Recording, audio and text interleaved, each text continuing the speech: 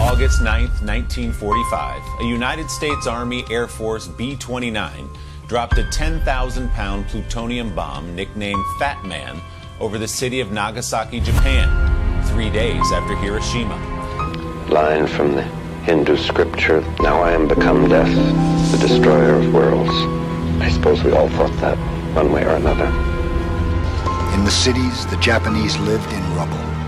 In the countryside, bad harvests cut the food supply in half. While Americans urged Japan to stick to toys, bicycles, and cocktail napkins, Japan put all its resources into steel mills, cars, and electronics. They protected and nurtured those key industries. It was a system of centralized economic control, government working with banks and big business for national goals.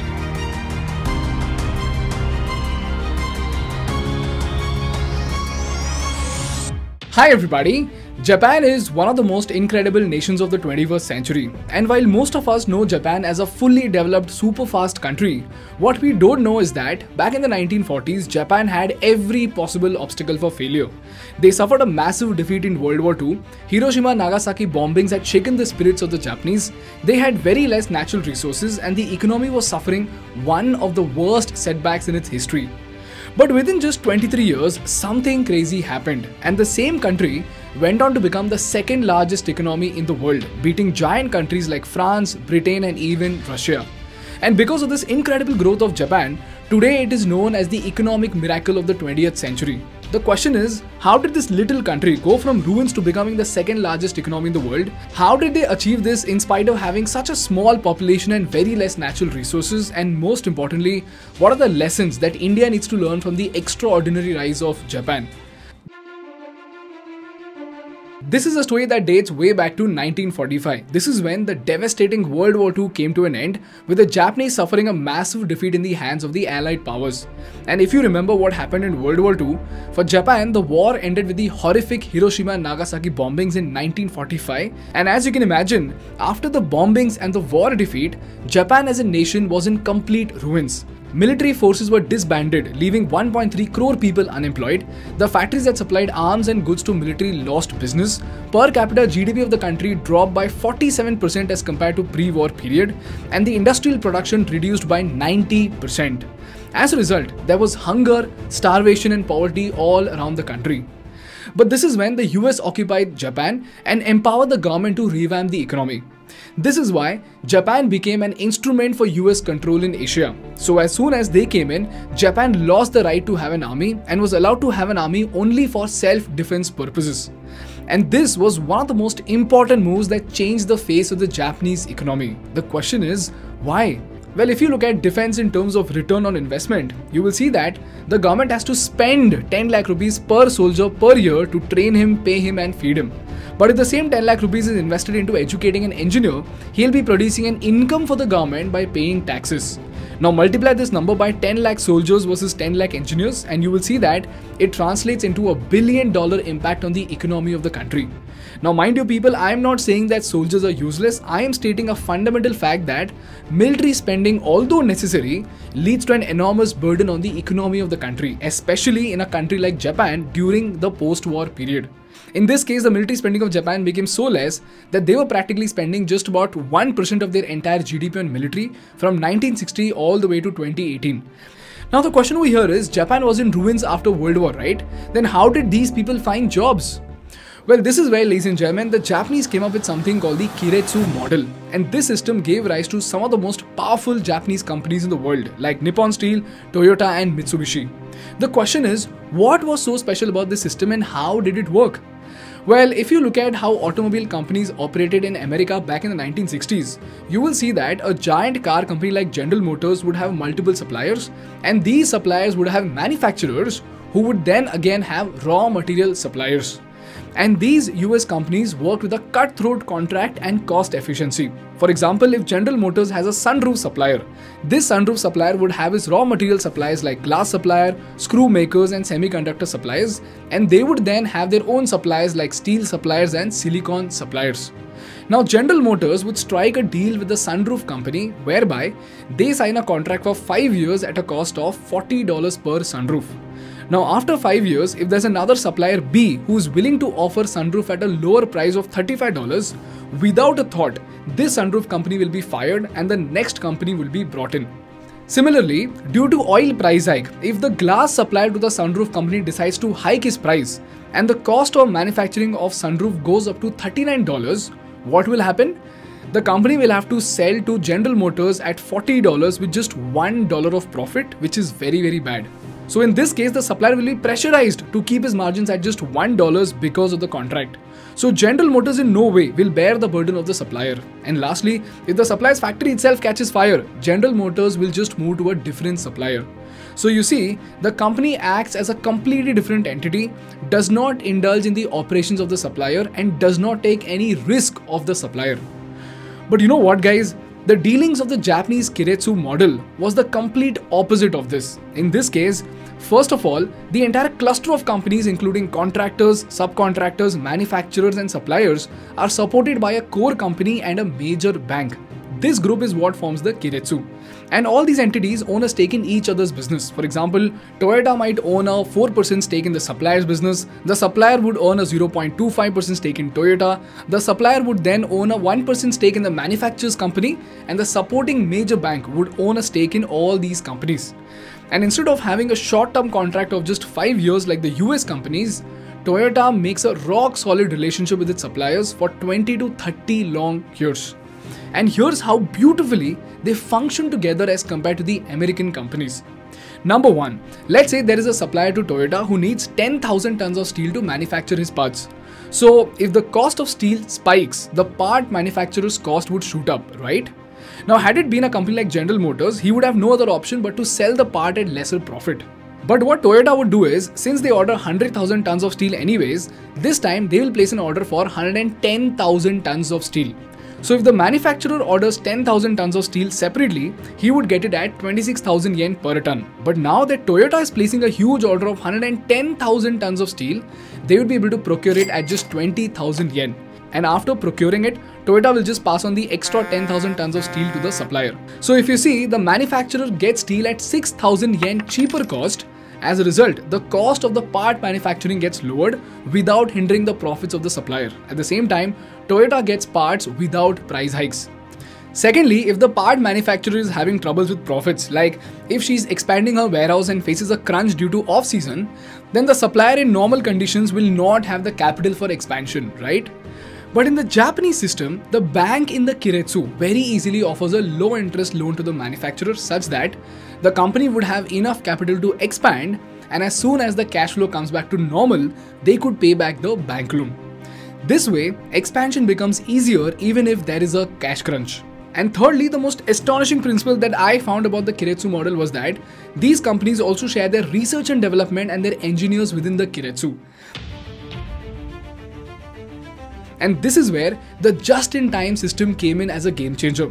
To tell you about it, Toyota spent millions of dollars to perfect the just in time manufacturing model. And for those who don't know, back in the 1990s, car manufacturing was done in just in case method. As in, if there are three color variants of a car, there'll be 500 red cars, 300 black cars, and 200 white cars already manufactured and stored in the warehouse. So, as soon as you place the order, the car would be handed over to you. But with the just in time system, only after you place the order for a black car, all the spare parts will be ordered from the supplier, machines will be started, the entire car will be manufactured, and then it will be painted black. This way, the waiting time of the customer increases, but at the same time, it drops the cost of production by a large extent. Why? Number one, it leads to very less wastage. So in this system, it would never happen that there is a waiting list for black cars and red cars are lying in the warehouse with no demand. If 200 black cars get ordered, exactly 200 black cars will be produced. If there are no orders for a red car, none will be produced. The second benefit is the extraordinary level of cost cutting. In simple words, if you look at the size of land needed to place 300 cars, do you realize that space is huge? Similarly, if you look at the labor, inventory, raw material, electricity that is used to make 300 dead stock, it is insane when it comes to cars. And on top of that, if you took out a loan to scale up your manufacturing, the interest rates will again kill your profits. So ultimately, the cost of this wastage and additional interest is passed on to the customers with increase in the price of the product. But in the just in time system, since there is no question of having a dead stock in the warehouse, the same production could be done at less cost with less manpower, less land, and less capital. In fact, this system was so so efficient that other companies that used JIT saw 50% decrease in their inventory and 80% decrease in their lead times. Eventually, they saw a massive increase in their profit margins. In this case, from 1955 onwards, Toyota's production started shooting up so much that they made 22,786 cars in 1955, 46,417 cars in 1956, 78,856 in 1957, and by 1965, they achieved a production growth of almost 2,000%, producing 477,643 units in 1965. This was the genius model that Toyota had developed, because of which it became the biggest automobile manufacturer in the world. And you know what, guys? After spending millions of dollars into perfecting this model, Toyota sent the entire blueprint of just in time and its own engineers to apply the same model for their manufacturers and suppliers. So, just like Toyota, even the manufacturers were able to produce parts with less land, less equipments, less manpower, and less cost. Eventually, what happened? The cost to Toyota decreased, and again, the entire Toyota supply chain benefited without hindering the profits of the manufacturer or supplier. Similarly, if there's a fire incident, the banks and other companies would come together to help the supply chain recover with loans. And when this kind of incredible support and resources were provided by the Keiretsu companies to each other, it gave them three incredible benefits to progress in the global market. Number one, the suppliers, because of the safety of the contract, boldly invested into their research and development, because of which they became better with both cost and efficiency. And with each passing year, they just got better and better than their foreign counterparts. Number two, because of consistent profits, the companies are able to pass on their profit to the employees in the form of perks, increased salaries, and extra benefits. And last and most importantly, because of the close knit support, coordination, and resource sharing, all the entities in the supply chain made money, and at the same time, instead of focusing on short term goals like cost cutting and contract, they focused on building the best products in the world. And needless to say, as we all saw, Keiretsu companies like Toyota, Sony, and Nintendo did not just go on to dominate Japan, but the entire world itself.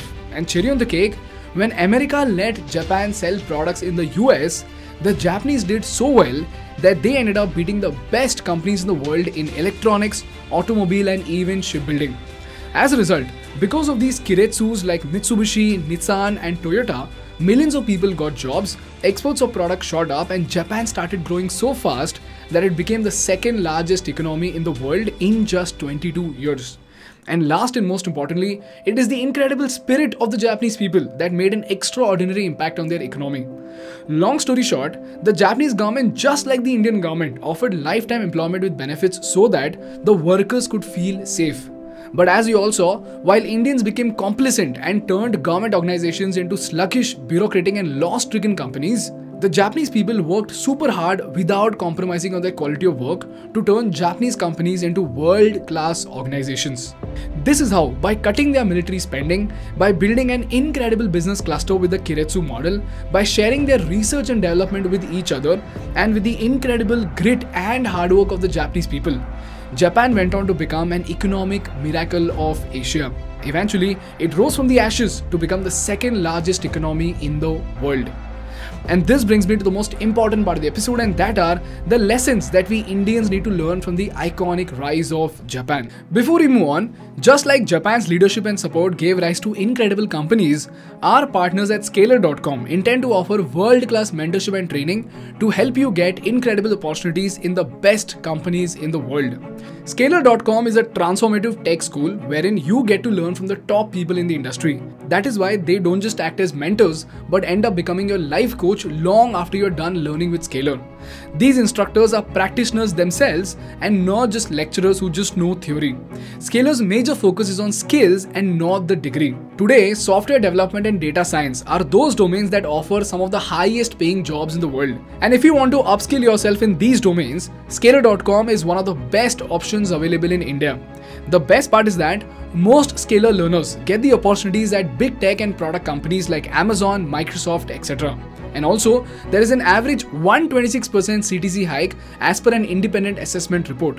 So, if this sounds useful to you, check out Scaler.com from the link in the description and sign up for a free live class to experience the Scaler difference. Moving on, the first thing we need to learn from Japan is that the unfortunate truth of geopolitics is pride comes at a cost. In this case, do you imagine how difficult it would have been for the Japanese to accept help from the same country that dropped nuclear bombs on them?